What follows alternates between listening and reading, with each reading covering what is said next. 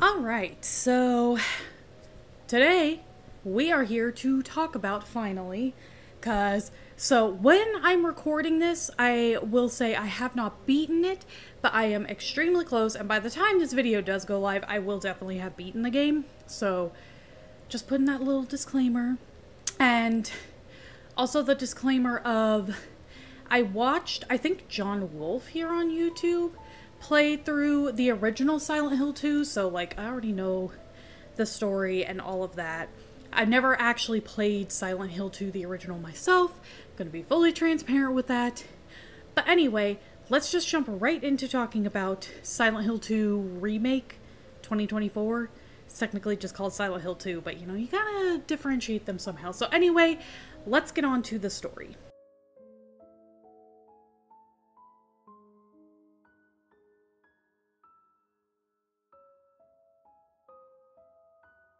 So, I also want to preface this video by saying I, as always, will of course let you know when I get to the spoiler areas. And I'm treating this, because there are a lot of people who are coming in new to the game, as though, you know, people don't know the story, because there are plenty of people who don't. So, any spoilers, like you post in the comments or anything, just make a note of it. Okay? Appreciate it. But anyway, so the basic story is you are playing as James Sunderland, who receives a letter from his dead wife, Mary, who died three years ago, saying she is in Silent Hill waiting for him, where they used to vacation together and visit a lot. So he goes there because, I mean, Mary's supposed to be gone. She was supposed to be gone for three years now, so he's confused and wants to see if he can actually find Mary and find what's going on. That's all I can give away, really, without starting to get into too much detail or even spoiler territory. So, anyway, let's just move on to the gameplay.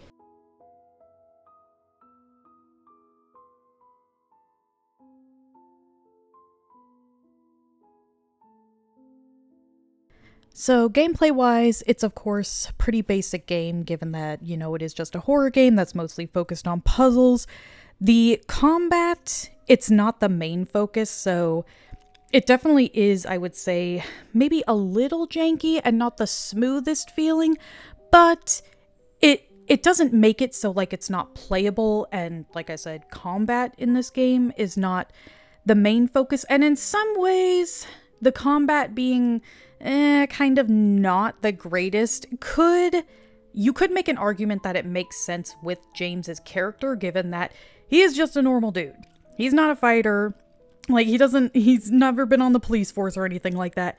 It makes sense James isn't exactly gonna be a great fighter. I mean, it, he's just picking up a board in the beginning to do melee attacks, but along with the gameplay, I mean, everything runs smoothly. I the only time I had any kind of frame rate drop is and I'm not going to give spoilers, so it was just after the fight in the freezer. If you know, you know.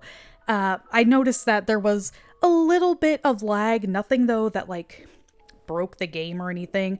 I played on the PS5. Uh, I know a lot of people on the PC were saying they were having some issues in areas with like frame rate drops or like a white line um that was outlining characters sometimes and everything. So I I do know that's a thing I guess on the PC. Pretty sure Bloober Team is working on fixing that, but otherwise it runs smoothly. Honestly, the environment of the game and everything, all the graphics like that's it's a 10 out of 10. It it looks really good and the atmosphere is it's it's on point, but I'll go more into detail on all of that moving on to my thoughts and opinions.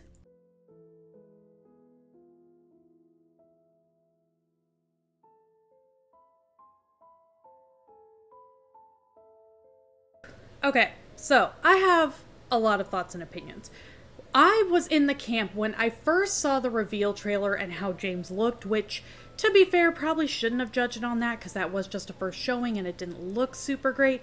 I wasn't really sold on it. I didn't I wasn't even going to pre-order it or anything. But the 15 minute gameplay trailer that they released, I believe that was in Brookhaven Hospital. I want to say that's the location if I'm remembering correctly. It was in Brookhaven. That sold me on it. I was like, okay, you know what? Screw it. Put down a pre-order. This actually looks really good. I am going to put down a pre-order for this and actually play it. Because originally, I wasn't very convinced by how James looked, which, again, I probably shouldn't have judged it that quick because I, uh, people want to say they, well, we, you know, complained and they changed it, but it's very possible Bloober Team was always going to change it anyway, and that was just kind of how it was looking at the time. Like, I feel like people online sometimes take too much credit. Like, slight tangent, but that whole Sonic fiasco, we all know they weren't actually going to do that. The internet needs to calm down thinking that they actually made a change on that. I guarantee it was just a marketing ploy. Sonic was never going to look like what they originally showed. Like, there's no way. But anyway, off that rant. So, I pre ordered Silent Hill 2, and honestly, I freaking love this game. Like, the atmosphere and everything of what they did, like, I mean, of course, the game looks absolutely amazing. I played on the PS5. Um, so, like I had said before, the only time I ever noticed a frame rate drop was right now, without giving spoilers, after the freezer boss fight. I think that's the best way to say it without giving spoilers. That's the only place really where I had any like frame rate drop. Like I said, I'm playing on the PS5. I'm not a PC gamer. Like any games I play, I always play on a console. Hate me all you want, get in a debate in the comments. I don't care, alright? My husband's PC Master Race, if that makes you feel any better. But that's the only time, like, I had any issues. But the game, it honestly looks so good. Oh, I also did have one body one time where I left the hallway or the room where it was in, and I came back and it did that. It was standing and then just flop ragdoll down. It actually kind of worked as a jump scare because for a second I was like, oh shit, did another monster appear? But it wasn't. So it actually kind of worked out in like the atmosphere and everything, even though, you know, it kind of wasn't supposed to happen. But that's the only time, at least that I ever saw it happen. Maybe it happened more, but the game is pretty dark admittedly, so it can be a little hard to see. But that's the only time I saw anything really weird happen with the bodies, at least in my playthrough. I'm not saying other people didn't see stuff, but for me in my playthrough, that was the only thing I saw. But back to it anyway. This game, it, like I said, it looks so good, and the atmosphere and everything, it because Senor Sylveon, he isn't always uh, here when I'm streaming and everything. You know, sometimes he's in another room doing his own thing or whatever. But at the times where I was streaming by myself, just the oppressive, lonely atmosphere, they nailed it so well. I felt so alone and it was like difficult to play in a good way because I could only handle so much because the atmosphere was just so spot on for what it should be that when you know, I met up with Maria finally, I was so freaking relieved to have someone with me. It was like a huge weight lifted on my shoulders to like have someone with me and not be alone in this super depressing atmospheric place. So, you know, I mean, for the fact it's Silent Hill in a horror game, amazing on that. So, I'm going to kind of freely talk now. There's what I will say if you don't want to hear the spoilers is I 100% recommend this game. Pick it up, check it out. Like yeah. So, now we're going to get into the spoiler kind of aspect where I'm going to talk more freely.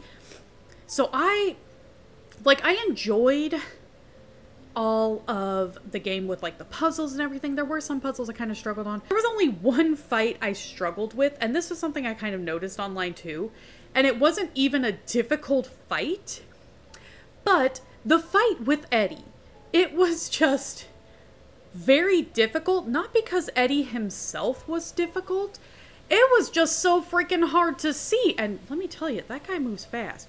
For him apparently being a fat loser, he moves fast. Like, it was extremely dark. Like I even had to get Senor Sylveon to help me, and even he was having a little bit of difficulty just because it was so hard to see. A lot of people said they actually went and like turned the contrast up so that way he couldn't just be hiding because uh, otherwise, like I said, the Eddie fight it's not difficult because of actual difficulty. It's only difficult because you can't see him. And he, like, you can't see him until he's, like, right on top of you. And you're supposed to kind of, like, use sounds and watch for the light of the revolver, but even then, he moves so fast. Half the time, by the time you get to where he was, he's gone already. Or he's already poised and ready and he just hits you with the rifle, which does a shit ton of damage. But honestly, like speaking with Eddie though, I do really like his character and how they did it.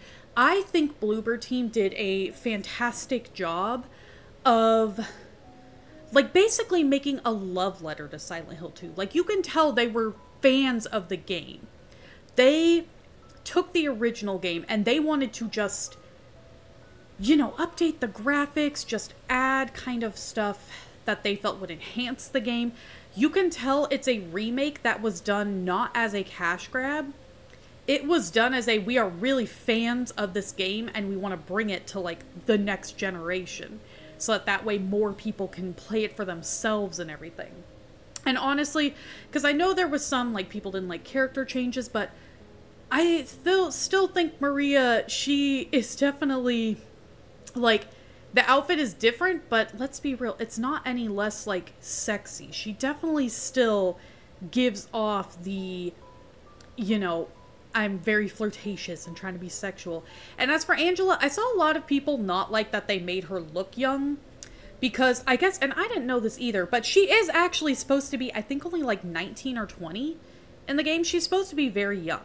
But in the original, she looks and kind of sounds a lot older, the voice actress, and I guess they did do that because the whole idea of like trauma can age you, which I mean, it's it's not wrong. I'm not saying that's a bad idea, but it did make it a little confusing in that sense, I guess, cuz I saw a lot of people not even and me included, like I said, not realizing Angela's supposed to be only like 19 or 20.